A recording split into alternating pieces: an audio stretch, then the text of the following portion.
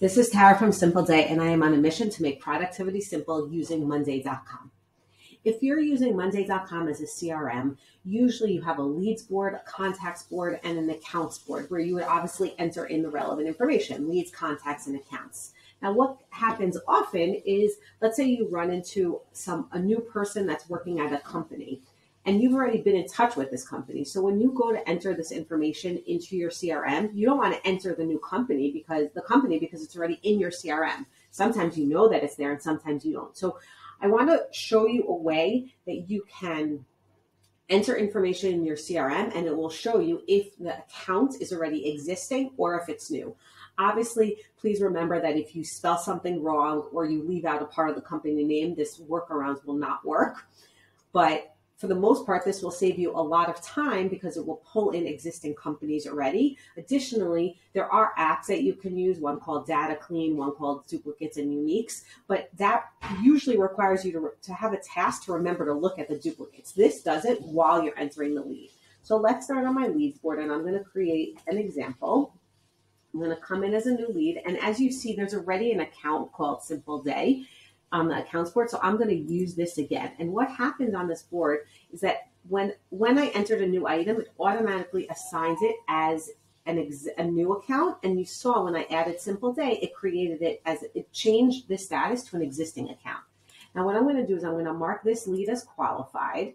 And I am going to go to my contacts board and you'll see that my name is going to show up here and the account name is going to show up and it linked it to the accounts on my accounts board and it's still an existing account. So I just want to show you that it did not create an existing account, but you can see that I am connected here.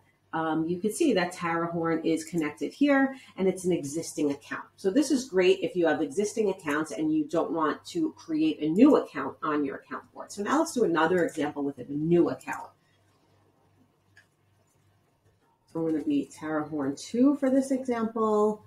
And my company name is going to be Simple Day 2, just so we're very clear.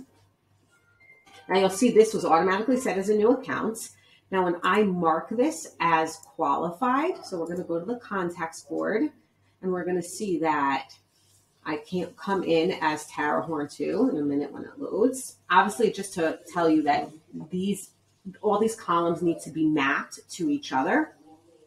And I didn't fill out the email on the phone. That's why nothing's showing up. So Simple Day 2 came in as a new um, account. And you'll see that here it says new. And so far, nothing has popped up. We're just going to wait for this automation. We can actually go check the accounts board and see here, simple, here is Simple Day 2 and it's connected to Tara Horn. If we go back to the contacts board, we'll see that it shows up here. I did write all of this out very clearly in a blog post, which I will share the link in the comments because I think to follow all of these steps on the video of exactly which columns and which automations is a little bit hard. So therefore I wrote it out, a step-by-step process of exactly which columns you need on which boards and which automations you need. So again, I will link to that in the comments below. Thank you so much for joining me. If you enjoyed this video, please feel free to like, give me a like below. And if you have not subscribed and you're interested in getting more updates and tips on how to use Monday.com, please subscribe below.